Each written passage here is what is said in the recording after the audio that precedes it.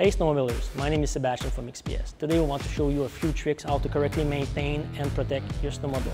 First, we want to use XPS multi-surface cleaners. It's a waterless product that you can use on your day-to-day -to, -day to clean all type of surfaces. It's super easy to use, you just spray it on and you just wipe it off using a microfiber towel. Next, we want to add protection. For that, we're going to use XPS Black Plastic Restorers. It's a strong UV protection that we want to use on all texture plastics. Now we're ready for the final detailing touch. So for that, we're going to use XPS Quick Detailers. You can use it on all type of plastic, painted surfaces, matte or gloss, spray it on, and you wipe it off using a microfiber.